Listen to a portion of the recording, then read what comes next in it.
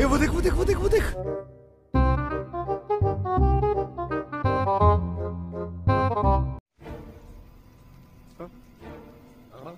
वाह क्या सीन है? वाह क्या सीन है?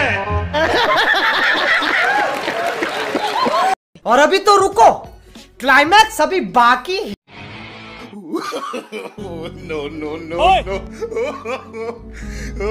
वापिस लागू से।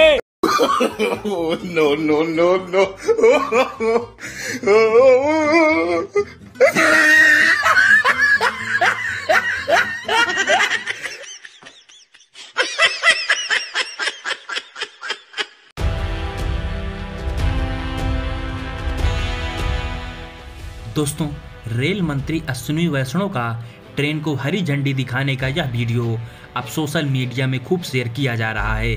दरअसल, रेल मंत्री अश्विनी वैष्णव ने आज बालूरघाट सियालदह एक्सप्रेस को हरी झंडी दिखाकर उसे रवाना किया। अश्विनी वैष्णव का यह वीडियो जैसे ही सोशल मीडिया पर वायरल हुआ, तमाम सोशल मीडिया यूज़र्स और विपक्ष प्रधानमंत्री मोदी को ढूँढने लगे, क्योंकि अक्सर आपने देखा होगा, प्रधानमंत्री मोदी ही नई ट्रेन का उद्घाटन अपने हाथों से करते हैं और उसे हरी झंडी दिखाकर रवाना करते हैं। फिर आज सुनी वैष्णो कैसे हरी झंडी दिखाने लग गए। आइए जानते हैं इस वायरल वीडियो पर सोशल मीडिया यूज़र्स और विपक्ष क्या कुछ कह रहे हैं। प्रमोद यादव इस वायरल वीडियो को शेयर करते हुए कहा, मैं सोचता था कि मोदी जी ही रेल मंत्री हैं। आज पता चला कि अश्विनी वैष्णो जी रेल मंत्री हैं।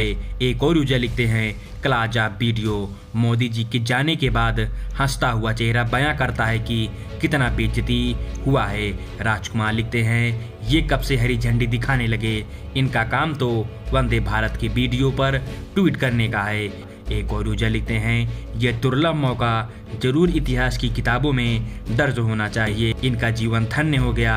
लास्ट एक मौका मिल गया झंडी दिखाने के लिए। एक और यूज़र लिखते हैं, बहुत ही दुर्लभ क्षण भारत के लिए। वर्चुअल ही सही, अपने ही मंत्रालय में मौका तो मिला हरी झंडी लहराने का। देश इस योगदान को याद रखेगा।